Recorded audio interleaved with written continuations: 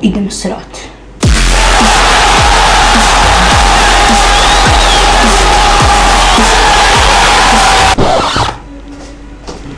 Šalim se, ko još sede kod gostiju?